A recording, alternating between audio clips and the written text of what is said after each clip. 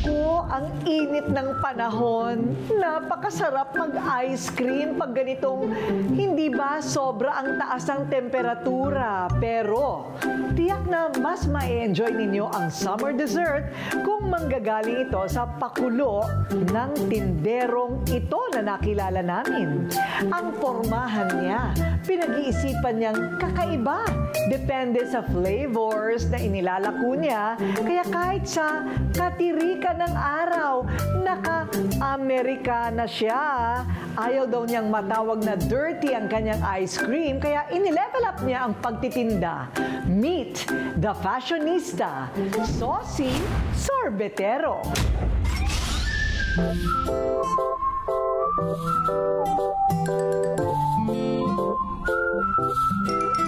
Todo forma kahit tirik ang araw. Long sleeves kung long sleeves pa more. Nakakurbata at leather shoes pa. Kung akala nyo na empleyado siya sa opisina, naku, nagkakamali kayo.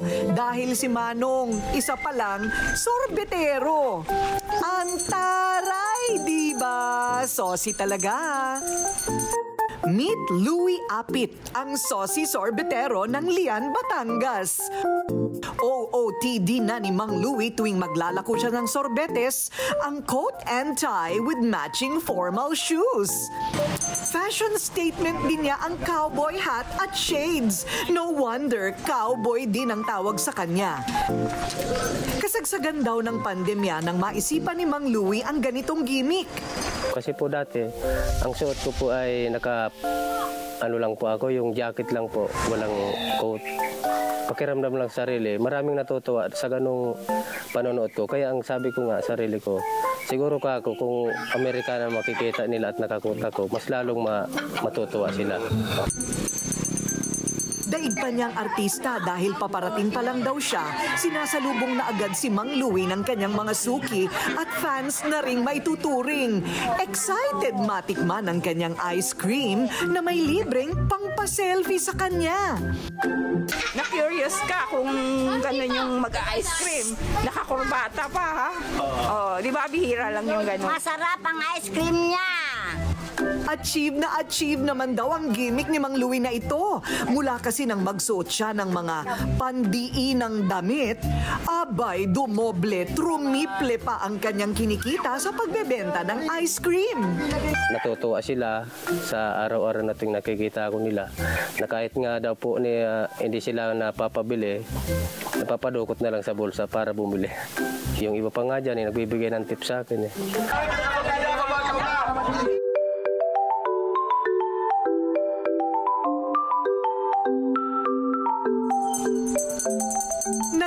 Atraksyon na din ang Sosi Sorbetero sa Matabungkay Beach. Pinagkakaguluhan at pinipilahan.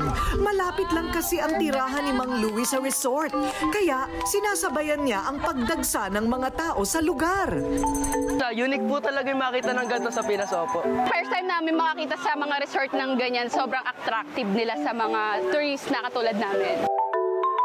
Weekend daw ang may pinakamaraming namamasyal sa dagat. Biyernes pa lang, todo na ang paghahanda ni Mang Louie.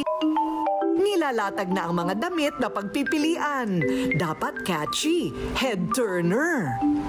Kwento ni Mang Louie na isipan niya na lagyan ng gimmick ang kanyang mga sinusuot dahil sa panunuya at panlalait daw ng ilang customer sa kanyang paninda.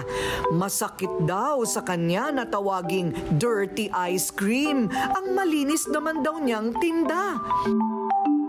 So para mawala sa isipan nila na dirty ice cream yung aking paninda, makita nila na yung nagtitinda ay malinis naman sa paningin nila.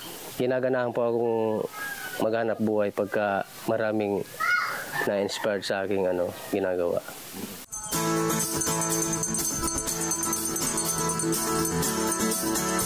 Raw hindi magsawa ang kanyang mga suki sa kanyang paandar. Lagi niyang ina-update ang kanyang mga damit. Kapag sinabi ko, kailangan, totoo, walang dagdag, walang bawas, walang kasinungalingan. Galit kasi ako sa manloloko, sa sinungaling at Sira sa salita, ang lakas maka-unprofessional ng walang integridad. Ganon din dapat sa pagpili ng sabon para sa muka at balat ng sarili nating katawan. Dapat sigurado, dapat kumpleto, dapat epektibo. Kaya ang payo ko sa inyo, huwag iasa sa mga bulero ang kutis na pinapangarap ninyo. Dito kayo sa may kredibilidad, integridad, proven and tested. Skin Pro.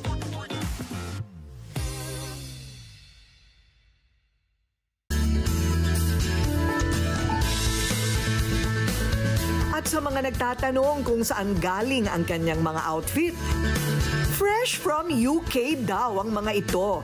From UK, UK. Ang iba regalo ng kanyang mga kaibigan. Sumarap siya sa mga tao na malinis ang itsura niya, na napaka-attractive niya, at hindi siya nagbibisyo sa pamamagitan ng kanyang trabaho. Naiangat niya at naitulungan niya ang kanyang mga anak at pamilya. Nakadepende sa flavor ng tindang ice cream ang kulay ng mga sinusuot ni Mang Louie. Dilaw kung cheese or mango flavor. Brown kapag tsokolate naman. Violet tuwing ube ang kanyang flavor na tinitinda. Red if strawberry flavor. At green kapag buko panda ng kanyang ice cream. Ang galing, di ba?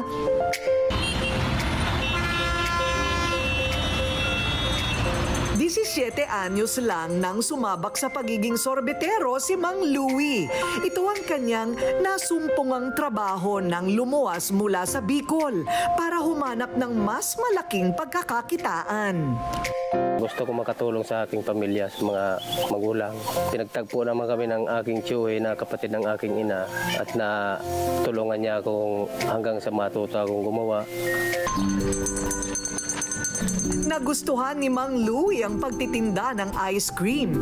Hawak kasi niya ang oras at walang pressure sa ibang tao na magmamando sa kanya para magtrabaho.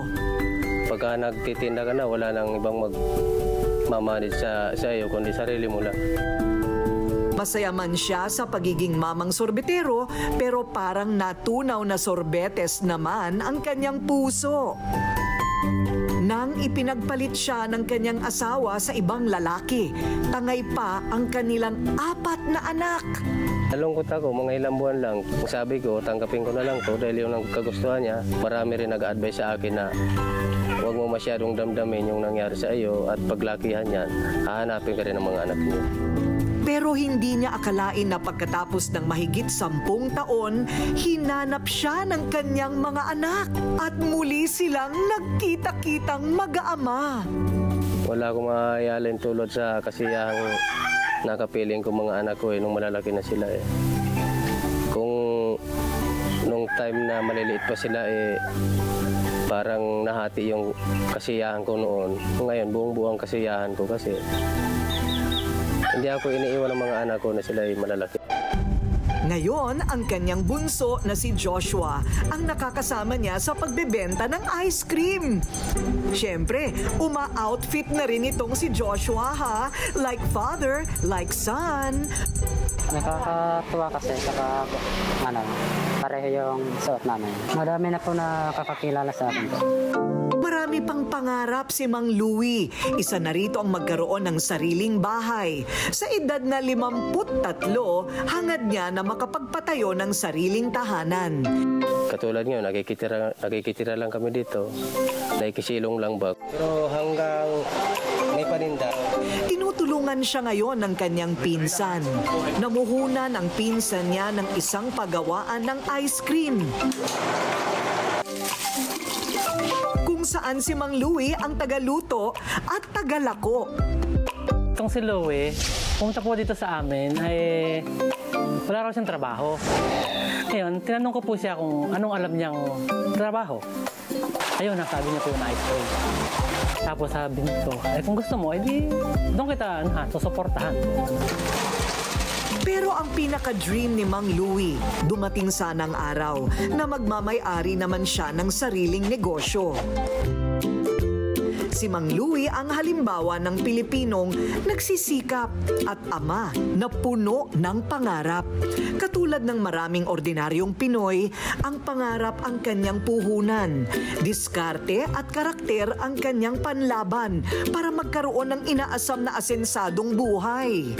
Kaya sa lahat ng inyong pagsisikap, paggigimik at pagpupursige, saludo po kami sa inyo, Sosi Sorbetero.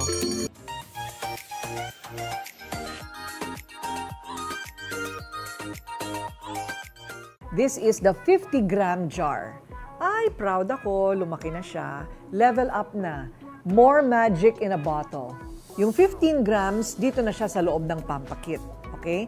Mawawala na yung 15 grams. Ito na ang available sa market ngayon.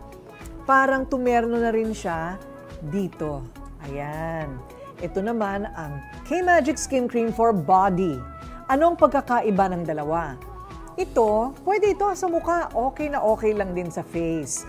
From head to toe. Pero, hindi kasi pwedeng masyadong matapang ang exfoliation pagka sa ibang parts ng katawan, like kilikili, sensitive ang skin yan, di ba? So, ang face cream, mas nakaka-exfoliate kasi kaya yan ng ating neck and face. So that's the main difference. My two superstars, the K-Magic Skin Cream for Face and Body.